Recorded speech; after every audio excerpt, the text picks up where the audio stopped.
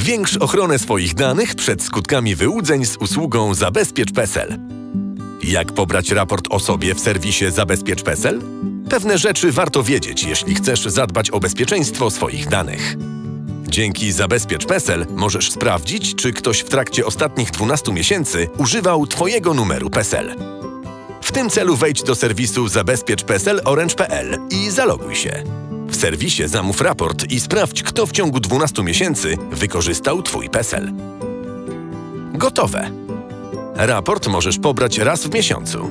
Pamiętaj, że otrzymasz powiadomienie SMS, kiedy ktoś zapyta o Twój PESEL. To proste. Możesz teraz wejść na zabezpiecz PESEL Orange.pl, aby po zalogowaniu pobierać raporty i zarządzać swoimi powiadomieniami.